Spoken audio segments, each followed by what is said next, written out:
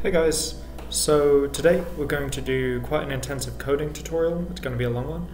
Um, and particularly we're going to take a ResNet model, publicly available, and we're going to quantize it entirely from scratch. So for those of you who are new to the channel, my name is Oscar Savolainen. I do a lot of AI stuff, particularly a lot of neural network quantization stuff, uh, because that's what I'm, I'm specialized in. And yeah, like if you haven't seen my previous videos, they they've covered a lot of theory on quantization, what it means to quantize, what happens on hardware when we quantize, what are the different kinds of quantization. Uh, but today is going to be our first real uh, coding tutorial, and I think it's actually the first of its kind, where we're going to take a model and we're just going to quantize it entirely from scratch. So I'm pretty excited. Hopefully you are excited. Uh, and so yeah, uh, a few things to say is that we're going to be using eager mode quantization. For those of you who don't know, there's a, a, bunch of different quantization frameworks inside of PyTorch. There's eager mode, then there's FX graph mode, and there's export mode. And FX graph mode and export mode, they're, they're very similar, and they both work on the graph, and they're very much part of the like PyTorch 2.0 ecosystem that works on the graph, on the DAG, the the directed acyclic graph. Um, but today we're going to be covering eager mode.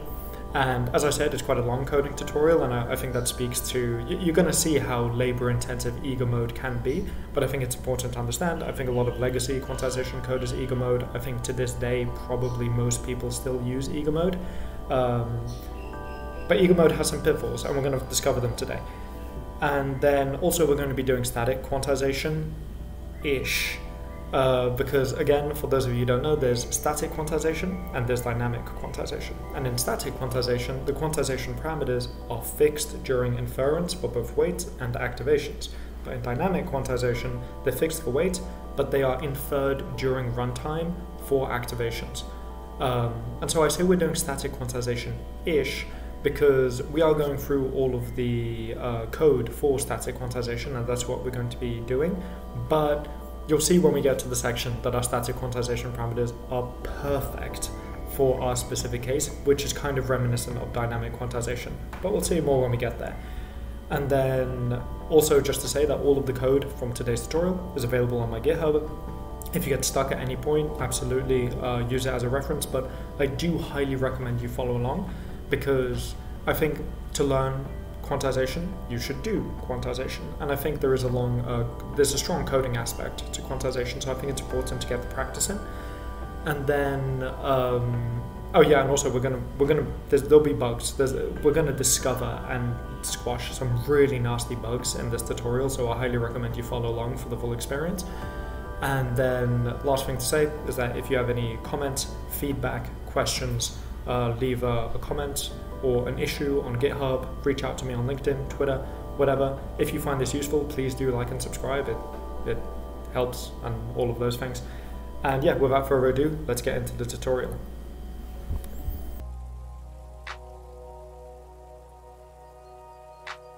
So we're going to take this ResNet model from PyTorch Vision, Torch Vision, and we're going to quantize it. And this is a brief tutorial about how you can take a ResNet and see how it's working. So we're going to do that. And then if we go to GitHub, what we're going to do, we're just going to take the ResNet model definition and we're going to combine it with this tutorial and then we're just going to quantize it. Yeah. So if we, we're just literally going to copy paste this entire ResNet model. I mean, I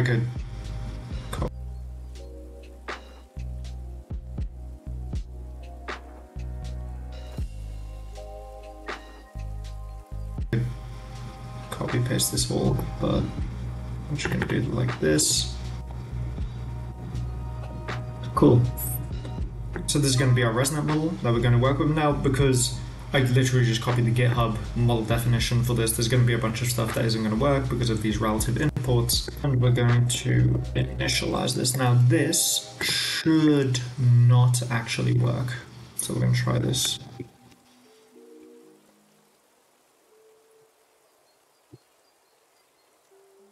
Okay, cool. Yeah, so this is what I was talking about with the relative imports, which means we're going to have to change this. Now, this is going to be pretty easy to change, especially because I have Torch Vision installed. Okay, and then we get this error. An entry is already registered under the name ResNet18. This error is just a function of special decorator that's in this file. So this register model And we don't actually want to do that. Okay, so cool. That worked. So we're just going to print model. Cool. So this is what the ResNet looks like. So we printed out the entire model, and we can see that as a conv layer, batch norm layer, relu, max pool, and then it has these kind of layer sequential blocks, which will contain conv, batch norm, relu, and then there's occasionally be these downsamples as well. So, okay, how do we quantize this? Well, in my previous video, I talked about the theory on how to quantize things. So there are a few things we need to do. Step one, I can write architecture changes namely quant stubs slash float functionals. Step two is fuse modules. This is not necessary, but it is highly recommended. For all of the reasons I outlined before, step three, assign qconfigs. These are the quantization ingredients on how you actually quantize a model. Prepare or let's say fake quant and then step five convert true int8 model okay so hopefully you've seen my previous video and you understand the theory of all of this i'm not going to go into the theory of all of this now but these are the steps we're going to go through so we're going to start with the easiest thing which is just placing quant stubs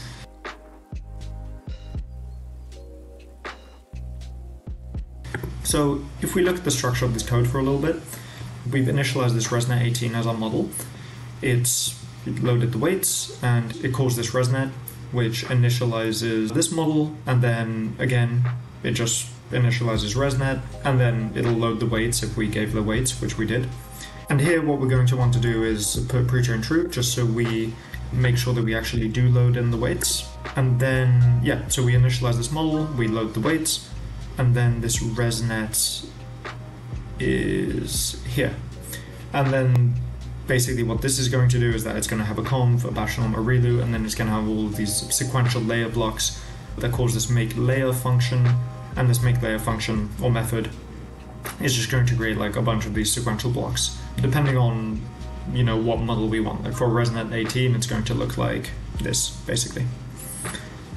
Okay, but where is the forward call of this? So if we're in this ResNet. Cool. So we have our forward call, which is going to call this forward implicit. And really, there's no reason we shouldn't just wrap this. So generally speaking, if you want to quantize the entire model, like we do in this case, we'll put a quant stub at the very beginning of the forward pass and a dequant stub at the very end. So as soon as a, a tensor gets fed in, it gets quantized, everything inside, in between those quant and dequant stubs will be in quantized space, and then the dequant stub will hit and it'll be converted back to floating point. So we're just gonna do this, self quant x, x equals duh, duh, duh.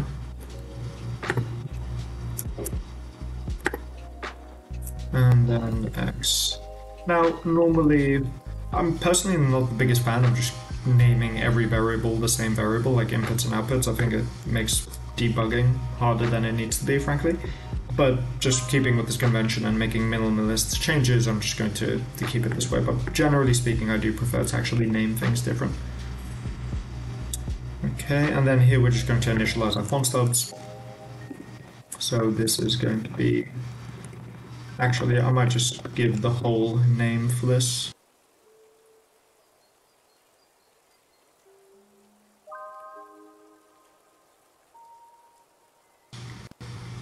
And then we're going to initialize our dequant stubs in just the same way. And then that should be all kosher. So we have quant stubs, we have a forward call, and then we have a dequant stubs. So that was nice and convenient. Okay, so we've done this. What about float functionals? I'm actually gonna leave this for now because I want to show what happens if you don't have float functionals. And this example will come up. For now, we're gonna write done Step two is to fuse modules. This is going to be a bit messy. So, as I mentioned in the theory video, there's two ways to fuse modules. One is using naming, and the other one is using a graph-based tracing method that's available in PyTorch 2.0. Currently, I'm not using PyTorch 2.0, I'm just going to use the standard naming method for fusing modules, and you will come to understand why it is pretty painful to do and why using a name-based method to fuse modules is actually super brittle.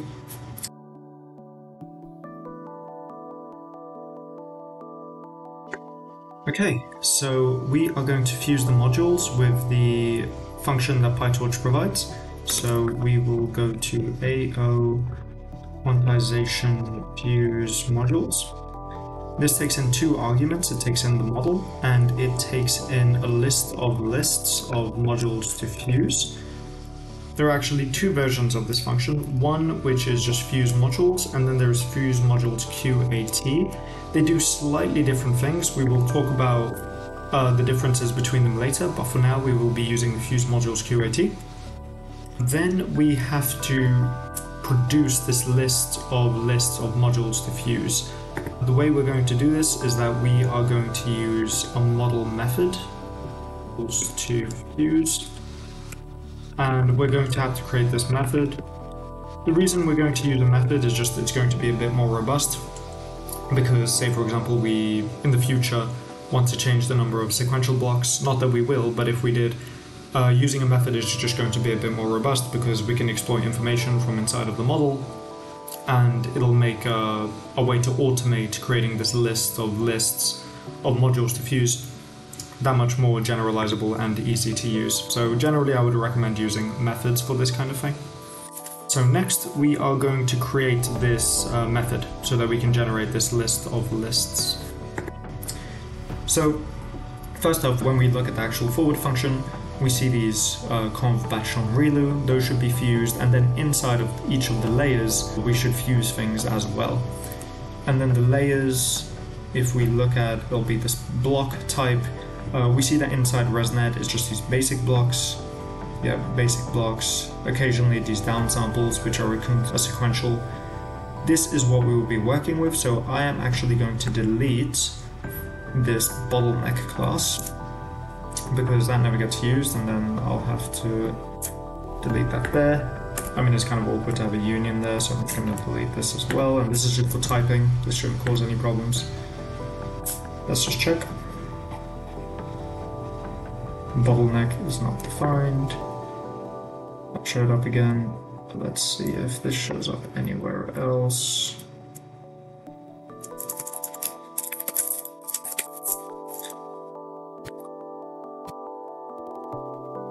Cool. Right, so we have to create this modules to fuse, but just first let's look at these layers. So inside these basic blocks, how are the layers structured? Okay, so we have a conv, a batch norm, a relu, and then a conv and a batch norm. Okay, so that's going to be pretty easy. So we need to fuse these, we need to fuse these inside of the layers, but we're going to start at the highest. We're going to start at the highest level. So we're going to create this method. Oops left fuse. What did I call it? I called it modules to fuse. And it's going to take in nothing for now. And I'm going to create this list. We're actually going to give it this name to distinguish it from the method. Then what are we going to do? Okay, so we're going to start with just fusing these. So this is going to be pretty easy. Modules to fuse equals or I think extend rather.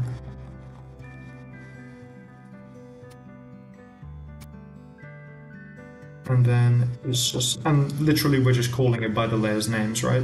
And you can probably already get some intuition as to how brittle this is going to be, because if someone changes the names of one of these, you're going to be in a lot of trouble because they won't fuse and just due to the nature of fusing because it's an optional step and not a mandatory step like it will fail silently so this can actually be a massive pain in int8 and this is just something that we have to live with when we're doing these name based conventions for fusing modules so if and when you are dealing with this fusing method with name using the naming method you have to be really strict in how the layers in your module are actually called. Like, you have to enforce this, you have to make sure that other people, when they change the code, they're respecting the fact that the f- modules are going to get fused. So it is just a thing that needs to be enforced, but yeah, it's it's pain, frankly. Like it's it's not fun, but yeah, that's that's kind of what we have to live with. Okay, and then we're going to do we're going to iterate through layers. So we're going to say, um, or layer in Mm. layer. And I'm actually trying to figure out exactly how I'm going to do this. This could be potentially slightly awkward. I think I might need an evaluation, like an eval method in this. Which is... Oh, actually, I could just do this. This is better. Or you could even do like name the modules if layer in name, for example, and that would be a bit more generalizable to the number of layers, but you know, this will work. And yep, and then we're going to call equals, should we feed it in? Probably, uh, for, we're going to feed the modules to fuse.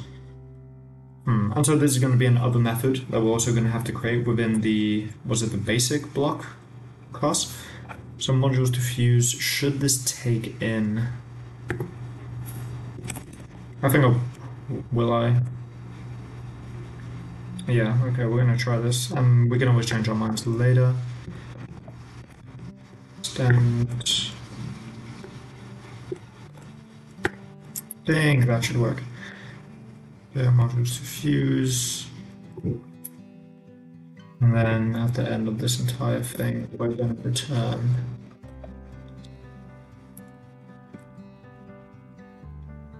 Cool. We're going to have these basic blocks and then we're just going to implement the same kind of method, but it's going to be customized. Uh, since we're here already, cool, we're going return this. Okay, so we initialize the list.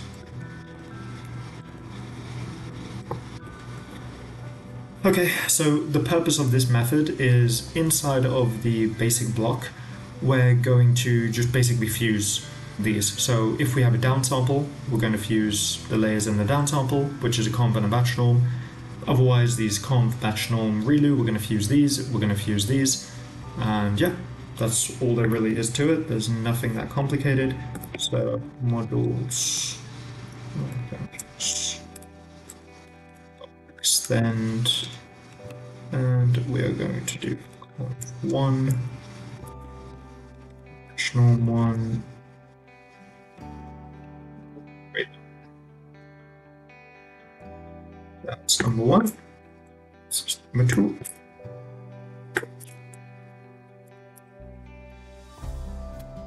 And then if self downsample, so we can presumably just copy this. And then what happens inside downsample?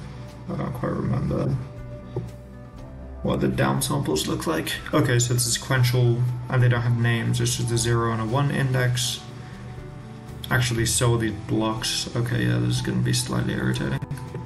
You, you, can, you can see I'm, I am not in love with the name-based fusing methods. But okay, let's try this. And the thing is, this actually has to take in a prefix as well, because I will show you why. So the reason this has to take in a prefix is because we actually have to add prefixes to all of these. Because if you if you just have a layer, like for example, if we're fusing things inside of this basic block, we can't just give the list as conv1 b1 ReLU because that's going to get confused with the higher level or the kind of the original conv1 b1 ReLU. Like it has to have the naming convention of, for example, layer 1 0 conv1 b1 ReLU. So these all have to take prefixes that is, you know, going to tell us basically what block we're inside of. So these all have to be F strings. And then while we're here, what are we going to call these prefixes? Um, hmm. And this prefix is going to be So what was it? It was layer one, so the name of it, basically. Okay, so we're gonna do enumerate. Hmm. but it's a it's a one, not a zero. Oh, this is kind of irritating. Okay, I might have to go back to what I had originally. Uh, so, treating these as strings.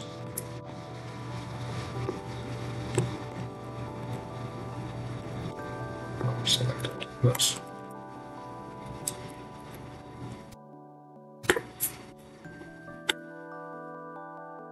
And then we're going to say layer, let's just layer string, and then that should do it actually.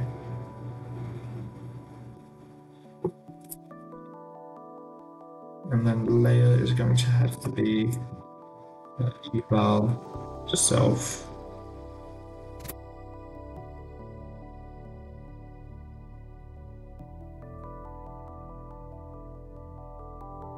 Sorry, that is completely wrong. I think that is correct. And just for the sake of um, enforcing this convention, we're using single string, single quotes. Okay, so I think this is correct. So we have self layer 1 that's going to give us this layer module. It's going to call this. And generally speaking, eval methods, like it's not good coding practice, but you know, frankly, as neither is a name-based convention for fusing modules, like this also is not good coding practice. So in for a penny, in for a pound. And this is the kind of stuff that you sometimes have to deal with when you're doing int8s, and particularly like when you're building your model architectures, you should build them in a way that's going to make it easy to quantize. This is not particularly easy to quantize. This is just a ResNet. It was not designed to be quantized when they coded this up, but you know, where th- this is why I'm making this tutorial, just so you can see that any arbitrary network, we're gonna figure out how to quantize it. Cool, so this should all work, and if not, we will debug in due time. Okay, so it takes some prefix, cool, cool, cool, cool, cool. And that's, for example, layer 1 has the sequential as well, so it's not as simple as it just being, it also has these blocks Okay. Maybe we. How do we do? Maybe we do it within each layer?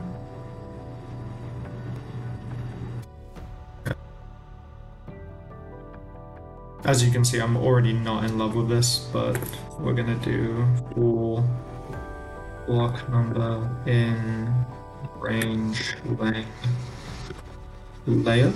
That should work, I presume, since it's sequential. And then prefix equals f. And in case this isn't obvious why I'm doing this, the reason is because each of these layers, uh, for example, layer 2, it's not just a, a, basic block immediately, it's going to be a sequential wrapper around two basic blocks. So 0 and 1, and so we have to add this to the full name so that you know, when we're actually accessing which layers we want to fuse, it's going to be the correct path to it. And then this has to be prefix. And I'm sorry, this is like completely tedious to watch, but hopefully if you're following along, this is going to help explain why we're doing this. Okay. So fuse those. Come to batch norm 2. That's all good. If self downsample. And the downsample was a sequential as well. So we're going to do modules to fuse, extend. And then what is going this going to be? This is going to be a conv. I think it might just be a zero actually. Uh, well, the downsample is called this. So downsample zero and downsample one, I presume, is going to work. Cool. Now, I never hope that these things are going to work the very first time I run them. Even though I, I, have coded this up separately, right? Like I have actually gone through this, I have built this tutorial before, but this time I'm coding it from scratch. Uh, so, if it works, which it didn't, it would be surprising. Okay, so layer... Ah, I think this will work. Block number.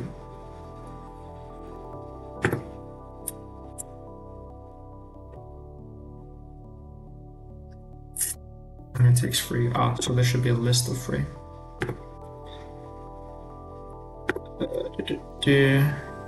these should be, because it's a list of lists that we have to feed in. So like, this will be a list that we feed in saying that we should fuse these. This will be a list saying we should fuse those. All to create our fantastic list of lists.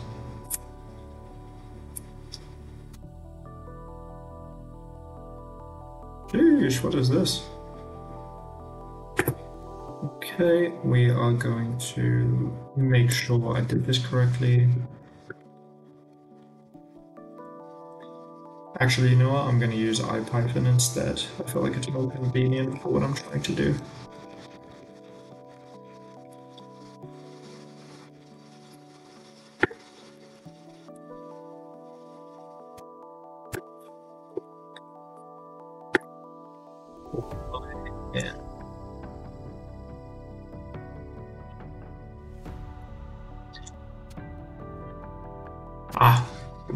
The problem.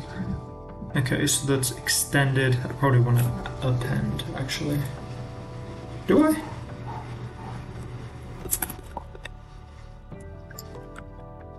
Because I don't want it to just be one list. Hmm.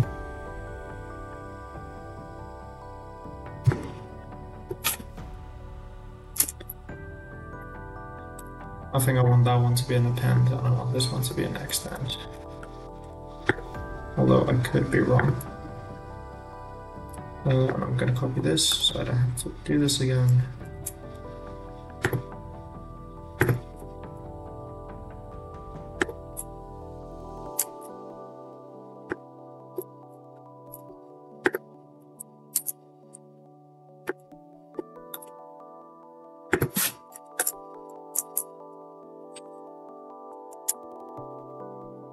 Okay, this looks more correct.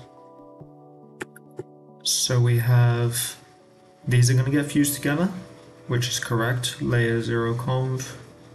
I think this is correct, as in this is layer 1, it's the first sequential, as in it's the first block in the sequential, so 0.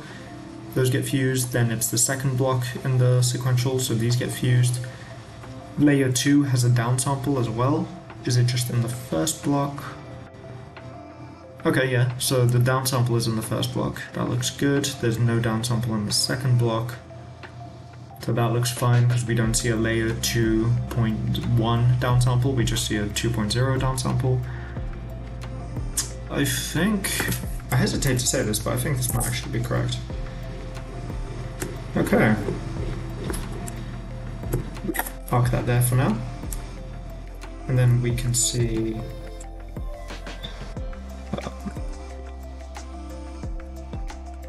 what this actually fused model looks like. Actually, I should park this all the way at the end so that I don't have to keep doing it. Now let's look at what the model looks like now. Okay, it looks very different, which is cool. So this is what the fusing does, essentially. Like, whereas previously we had conv batch relu, now we have this conv batch norm relu object, which is just a sequential wrapper around the conv2d, the batch norm, and the relu. But that is pretty cool. So this is, and all of the batch norms and the relus got set to identity. The max pools are untouched because we didn't fuse those, because fusing for these is not supported.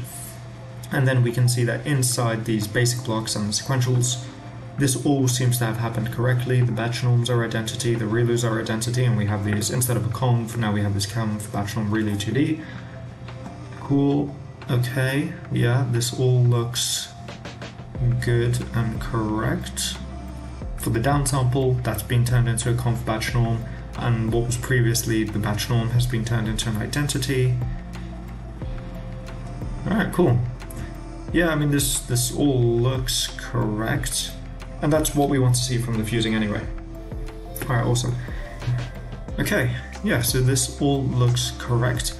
And let's keep in mind that what I use, I use this fuse modules QAT method. Now, there's two methods for fusing things. There are, again, there's there's graph-based methods, but as far as the naming methods are concerned, there's fuse modules QAT and fuse modules uh, without QAT. So what this does, in, in the example of a batch norm, for example, it will keep the batch norm so that if you're training in, in QAT, what it's going to do is that it's actually going to update the batch norm statistics, and this will uh, fuse batch norm, shall we say, weights into the preceding conv. So I'm just going to show you what happens if we just use the normal not QAT fusing method.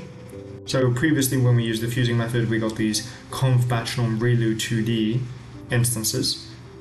Fusion only for eval. This is something that can happen as well. So before you do the fusing, just set your model to eval mode. And yeah, just welcome to Entei. Like honestly, like coding wise, it has a pretty steep learning curve. So these are just the kind of things that we have to get used to.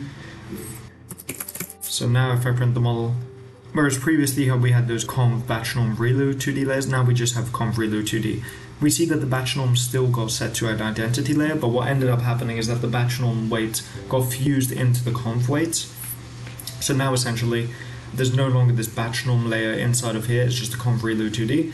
And whatever adjustments the batch norm layer was going to do to the conv have been fused in. So this is kind of static now. So if we took this model and we trained it, it wouldn't be doing batch norm anymore, it would just be running as a normal conv relu 2D layer. So in a sense, the batch norm is now static. So that's something to be aware of.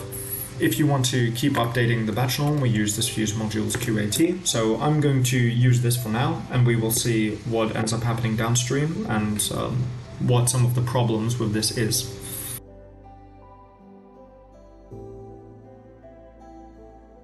Hey guys, so I have interrupted this tutorial briefly to say that the first time I filmed this tutorial was maybe like three months ago, four months ago, and as I was editing this video, I was kind of like, you know what, I don't really like how I did that. I don't feel like it's the best representation of of static quantization or you know the qconfigs in particular. In the original video, I used the default qconfigs. I am not a fan of the default qconfigs. They are kind of confusing. And I will have a separate video on that just to keep this video shorter on the default qconfigs and why I think you shouldn't use them. But I I want this video to be as like high quality as possible. So I I'm refilming this entire second half of this of this tutorial from scratch. So yeah, without further ado, let's let's get into it. Okay, so yeah, we're just gonna continue where we left off, which is assigning the qconfigs, and we will be building our own. So the first thing we're going to do is we are going to import from torch.ao quantization fake quantize import fake quantize. This is one of Torch's quantization modules. Torch has a bunch of different options. I would say that there's four main ones. There's fake quantize, there's fixed Q params fake quantize, there's a fused version, and then there's learnable fake quantize. These quantization modules do slightly different things. Fixed Q-params, fake quantize means that your Q-param will always be fixed. They will never change. They cannot change. They're set at initialization and they, they remain that way forever. Fake quantize is only updatable via PTQ. You can't learn them. They're not learnable like in, in QAT. They're just, they're only observed. Yeah. And then there's learnable fake quantize, which is you can do PTQ, you can also do QAT, you can learn them by gradient descent if need be. And fused is something that I, I personally don't use. It's just kind of like a slightly optimized version of fake quantize. It, it does away with some of the kind of branching inefficiencies in the forward call, but that doesn't really matter. Okay, so we're gonna we're gonna build this this qconfig. So we're going to something to know about the qconfig is that you have to assign both the weight and the activation activation q config equals torch fake quantize with args. Cool. Okay. Equals, and this observer is going to be our PTQ observer. So we have many different options here. Kind of the defaults to go to for activations is the histogram observer, which can be a bit slow depending on how much uh, PTQ information you have, but it generally does have the best performance. So what the histogram of the observer does is that it, as you're feeding data through your model in PTQ, it's observing the activations and it's storing kind of a, a history of all of these activations into a histogram. And that histogram is dynamically going to grow and kind of dynamically figure out its bins.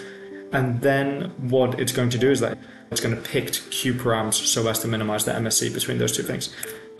So that's what the observer does. And here we need to specify our quant min, quant max. This is just going to be like what our quantization range is in terms of the integer space.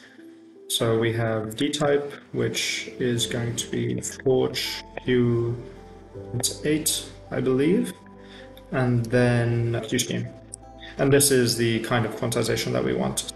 Yeah, so we want torch per tensor affine, and then that should be that. This should all be correct. And I think that will live. If not, we will come back to it. So we have the weight qconfig is going to be very much the same. And in fact, we're going to copy basically that entire thing. Okay, so that is our activation qconfig. We use a histogram observer. And for our weight qconfig, we're going to do something slightly different. Generally speaking, you're not going to need a, a histogram observer for this. Generally, what people use is a per channel min-max observer. And that just means that because for weights, where we're quite lucky, is that typically for activations, we need to do per tensor activation quantization. But for weight, we can actually do per channel quantization, which is kind of cool.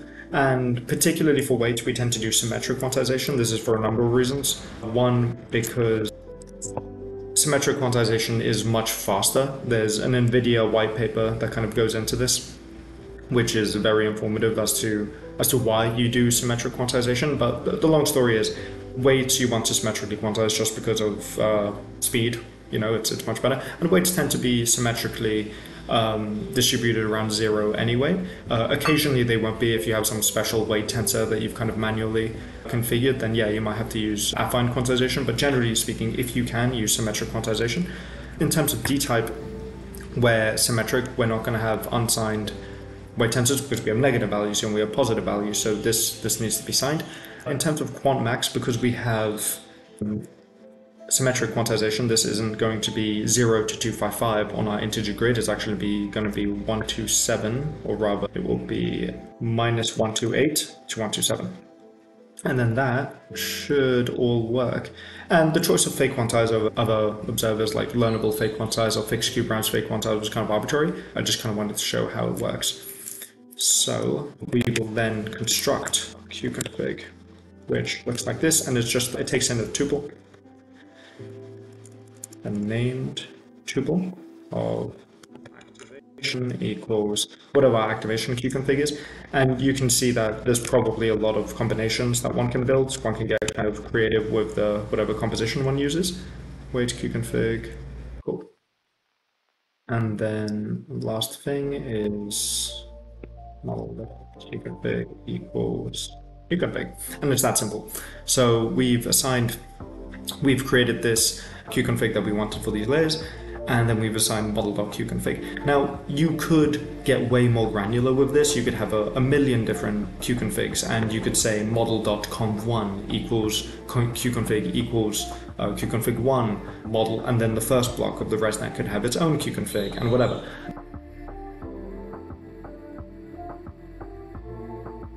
But we'll talk about this more in the next step, which is we are going to prepare. Oh, actually, this shouldn't be a model, should it? It should be fused model. Because we went through all of that hard work in fusing our, our layers. It would be a shame if we just didn't take any advantage of that.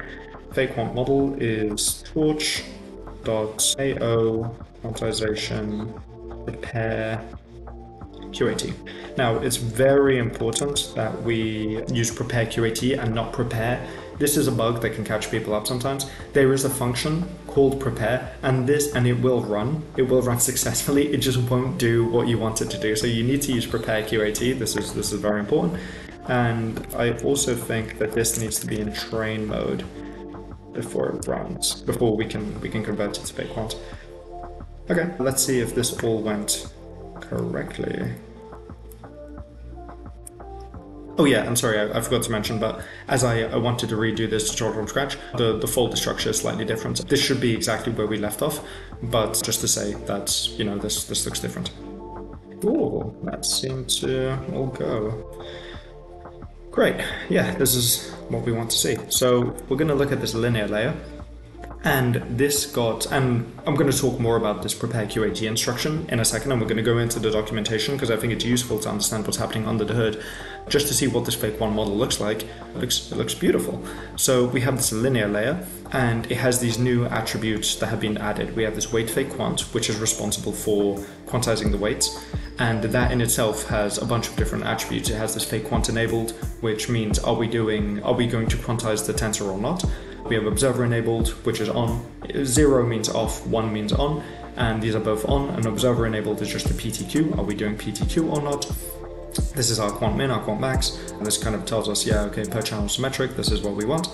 And these are our Q params. We have scale and we have zero point. And then what's interesting is that we have the activate, and this hasn't been initialized, these should actually grow because we're going to do per channel uh, quantization. So this will actually have as many values, or the, the tensor will be as large as there are, are output channels.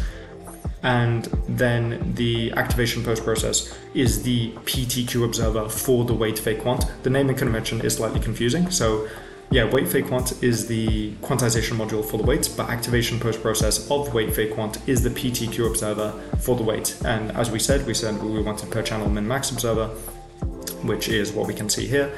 And then for the activations, i.e., the output feature of this, in this case, a linear layer, we have the same thing. We have all of the same attributes, but here we have per tensor quantization, which is what you need for, for activations, typically speaking.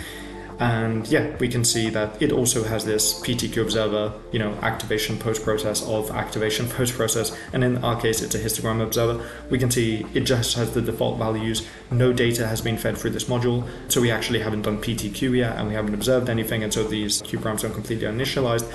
And the Q yeah, they're just set at the default values of scale 1, 0.0, the same thing for the weights but yeah, we should be we should be proud. Like if you've you've gotten this far, you've you've successfully created a fake quant model. So yeah, and okay, we're now going to dive into what is happening under the hood of Prepare QAT because I think it is useful to understand. Okay, and in case this is useful, this is just the, the quantization module that we were referring to earlier, the fake quantize. I'm just showing this briefly just so you know it.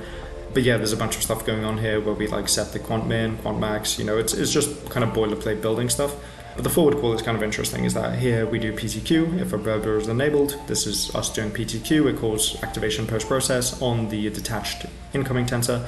From it, it's kind of funny how this works is that it then calls calculate Q which you know accesses activation post process, the PTQ observer to derive these, and then it kind of copies the data from the PTQ observer, the scale and the zero points as calculated by the PTQ observer. It copies them into the quantization modules scale and zero point. So this code is like a little bit. It, once you know what it's doing, it's it's fairly simple, but like at first view, it might be a bit confusing. And then this is the fake quant enabled. So this is if we when we actually quantize the tensor. If it's per channel, we do fake quantization uh, per channel. If it's per tensor, we do per tensor. And this is just a call to the C uh, the C++ backend at the end of the day. But yeah, we don't we don't need to talk more about that. I just wanted to show it. So this is the prepare QAT function, which does the preparation, where it takes a floating point model and it converts it to a fake quant model. This is, I think, important to understand because it, it, does three main things. So the first thing that it does is that it does propagate qconfig. And earlier, where you know we just assigned model.qconfig equals qconfig, the reason we can do that is because of this line of code. Is that what it does is that for every module that has a qconfig attached to it, for all of its submodules and kind of children modules, it will uh, propagate that qconfig down to those submodules. So it's, it's really useful. So like if you, you know, just send model.qconfig, all of the modules in your model are going to have that same qconfig. Uh, but if you want to intervene and be like, okay, I want uh, this specific submodule to have this very special qconfig, it will do so, and then all of that that submodule submodules will have that that qconfig. So it's quite useful. Convert is very important. Converts it basically swaps out the the module types and the modules themselves for other kinds of modules that are fake quantizable. And this is kind of important to understand. We'll, we'll dig into this a little bit later and we'll look at what the mapping is. And then prepare. This does a lot of stuff where like it adds hooks basically onto like activation post process. It'll add in the observers.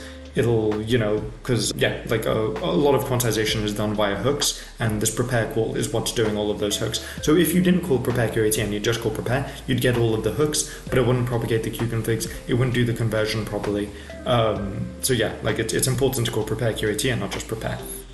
But let's look uh, a little bit at this conversion function because I think this is, is, is good to understand.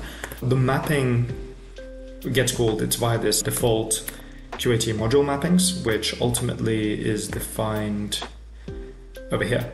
And it, it calls a function which ultimately calls this, like if I show you, yeah, def get default QAT module mappings, which is the function that we just called. It calls default QAT module mappings, which is a dict, and this is basically on the left hand side are all of the modules that you have. These are like fused modules that we just created by fusing. And then it will swap those modules out for these other modules like NNI, QAT, Convrelu 2D.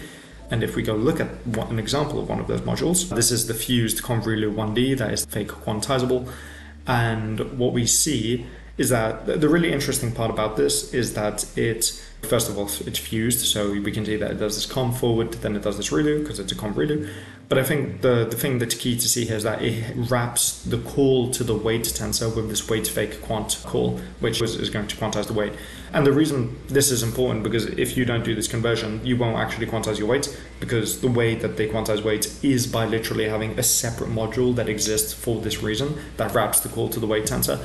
Activations you can get away with because that's just done with adding hooks, so you can do that on any arbitrary module that you want to. But if you want to be able to quantize weights, you do need to I mean, the way PyTorch has implemented it is that you wrap the call to the weight tensor with this weight fake quant. So I just wanted to highlight that. I think it's good knowledge to have that that's what's happening under under the hood. But anyway, we can we can go back to our code.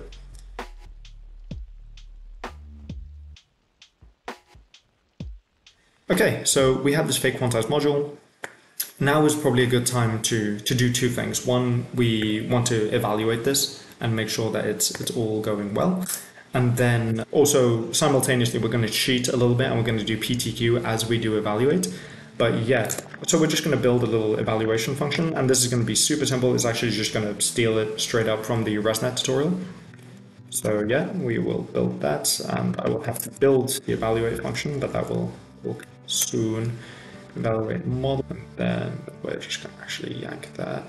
So we diffused model, and this evaluation is important to make sure that nothing has gone wrong and uh, not to, to, foreshadow it, but something has actually gone wrong. Uh, there is a bug hidden in here uh, that we will have to will have to debug. That, that will be fused model fake quant. Then we're going to create an evaluate. And as I said, we're just going to go to the original ResNet tutorial and we're literally just going to take, because they have an entire section on how to how to kind of run the ResNet and how to see how it does. So we're just going to steal all of this. So we're literally going to copy and paste that over. So we grab that.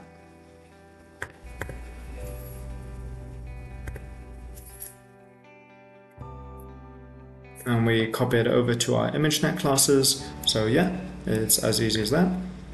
And then for this, we just kind of wrap it in a function, so def evaluate a model, and I've added this device string with default for CUDA, and this is something I personally don't need. Like on my laptop currently, I don't actually have an NVIDIA GPU, so I don't have CUDA, but presuming that other people do, I'm gonna make this code more, more generalist. And so that is going to involve deleting this and then replacing it with, with this. And so what this does is that if you specify that you're on CPU, it will have all of your inputs and your model on CPU. And if you specify CUDA, it'll put everything on CUDA. But we'll see that this might be important depending on whatever your hardware is. So yeah, that is our evaluation function done. Hopefully that was clear. And if not, please reach out, leave a, leave a question or a comment or whatever. Okay, so now let's check out how this is done. And I foreshadow you that, that there is an issue here. We, we have introduced the bug.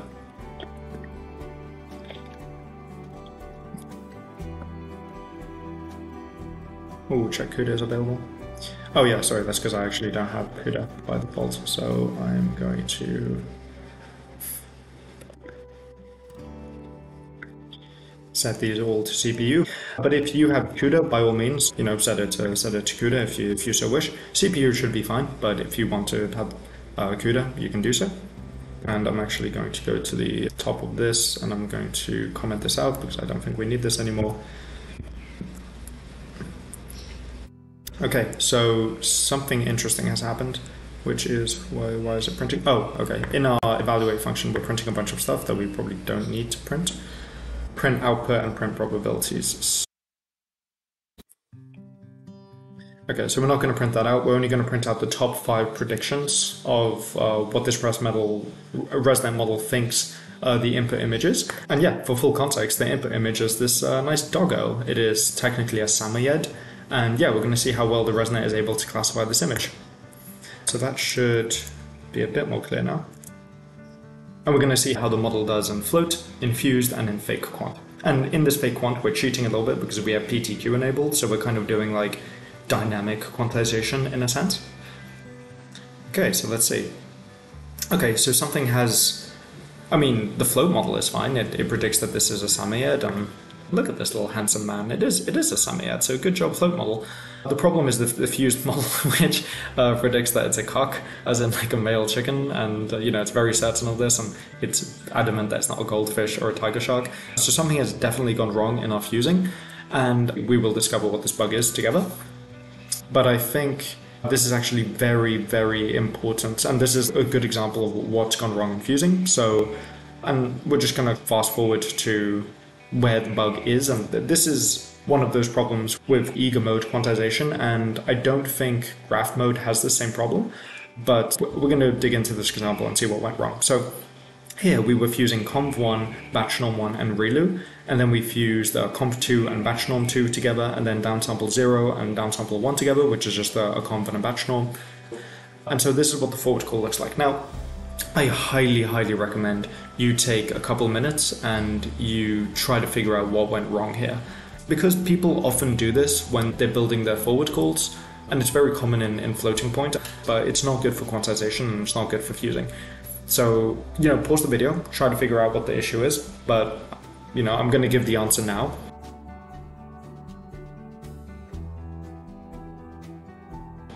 Which is that the problem is this ReLU. So it got fused in the conv1 batchnorm1 ReLU, and then the batchnorm1 and the ReLU got sent to identity. Now, the problem is that that same ReLU gets reused at the end. And the, reason it's reused is because ReLUs are stateless. So you should be allowed to do this. It, it, shouldn't matter. But when you're fusing, this actually got fused into that. So this got set to identity, which means that there's no ReLU on the output of this model. Which means that it's just a fundamentally different model, and that's why when we do fusing, we get very, very bad results. So we need to we need to fix this. And the, the super simple thing to do is to just in, initialize this differently, right? Like so, we're going to just call this ReLU out, and we're going to call this one just for the sake of kind of consistency. We're going to call this ReLU one. We're going to make sure that we uh, use it correctly. And then uh, we need to initialize it again. And then this one has to get renamed uh, ReLU1. There we go. Okay, so now that should all work because now these ReLUs are distinct and this is something I highly recommend. Wherever you have modules, you should uh, think in terms of quantization that you, you probably should initialize a separate module for each particularly like ReLUs and any kind of activations that you, you can consider stateless, but it's important. The only exception I'd make to this is like dequant stubs, because dequant stubs are entirely stateless, they're fine for quantization. You can reuse the same dequant stub as much as you want, it's not an issue. And if you know that you want the module to be the same, let's say you have a quant stub and it deals with like image tensors, which always have fixed Q params, you know, you can just reuse the same quant stub as much as you want. But generally speaking, you should initialize things separately, and I, I would recommend against using like functional APIs, for example, because those are also common, but they're not modules, they're not fusible, unless you're in graph mode, in which case they are. But uh, yeah, generally speaking, good proper quantization kind of habit is to initialize things separately. Now we're going to check this out, and look at that. Now the fused model works. So yeah, I mean, hopefully this this puts some fear into you of eager mode quantization and when you're fusing things, how things can go wrong, and about how you should think about okay, when you're architecting your model, what is a good way of doing things. The fake quant model actually does super well as well. Again, we are slightly cheating here because we're doing PTQ as we run this, so it's, it's kind of doing dynamic quantization, it's not really static quantization. And so actually we're going to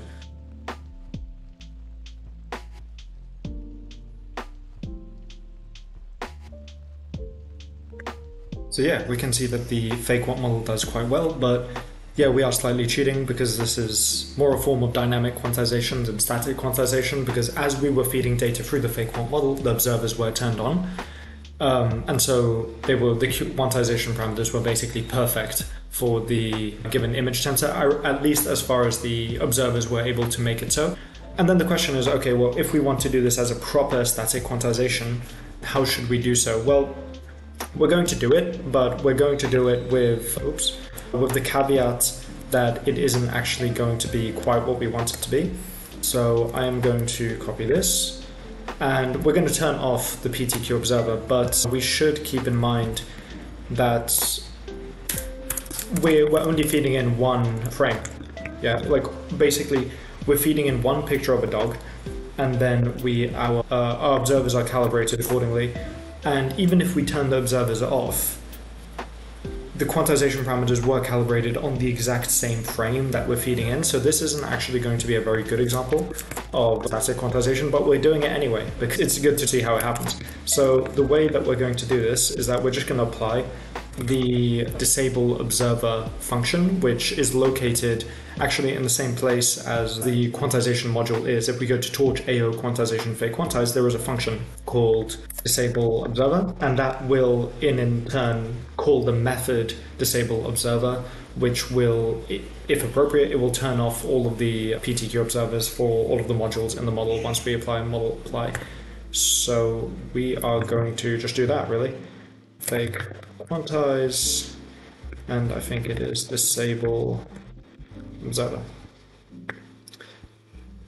Why is this giving me error messages? Okay, we're gonna actually try this out, just as is. Cool. And now if we go to any arbitrary layer, oh, oops, this is, this should be fake quant model. And if we do the same here, well, Now, if we look, yeah, we can see that observer enabled zero, which is great. And I will quickly show the documentation for this. Yeah, so here we can see these methods. So it's back where we were with the fake quantize module in the same file as it was described. Here at the bottom, we have a bunch of these functions, which, as I said, they just call them, call them methods uh, associated with, with the fake quantize module. So we can disable fake quant if we want to. We can enable fake quant and here we're using the disable observer, so we're going to look at what gets called, uh, and it's defined in fake quantized base. Pretty sure. Yeah, so disable observer is just the flip side of enable observer, and we can see that all it does is it literally sets the buffer value equal to, in this case, zero when we disable, and we can see that you know the eventual effect that that has is when we do the forward call, if I can find it. Can I find it? I can find it. So if this is equal to zero, this entire process gets skipped and this entire process is the PTQ process. So we just don't do PTQ.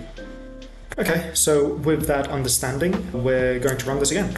And we are going to see, I mean, the results should, the results should be exactly the same. This is, if this is like the perfect example for giving, or rather, this is an example that will give you very good static quantization results because the quantization parameters were perfectly chosen as far as PTQ can perfectly choose quantization parameters for this very same example of this dog. So yeah, we shouldn't we shouldn't celebrate too much that like we've we've very efficiently quantized this network in static quantization. This this isn't generalizable. Like if we feed in a picture of a tortoise, it's completely possible that we don't get nearly as good results in terms of classification. But here, yeah, we see that our, our, po- our pre-PTQ and our post-PTQ quantization is an exact match. That's normal because it's it's literally the exact same input.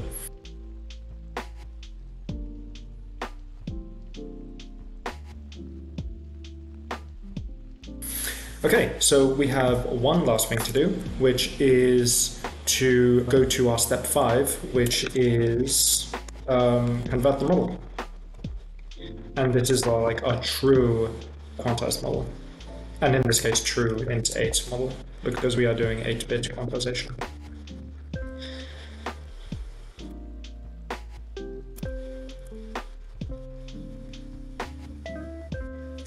Okay, and to convert the model, it's as simple as converted model equals torch AO quantization convert fake quant model in place dot.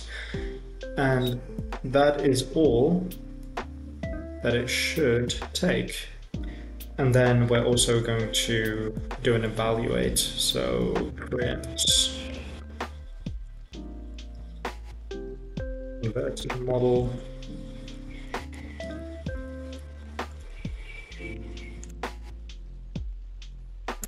evaluate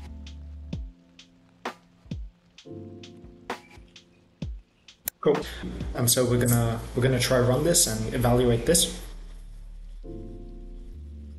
and I warn you, we kind of foreshadowed that there was going to be a bug at some point in the code, and the bug I tell you now is is manifesting itself. Like this will throw an error. Yeah, here we go.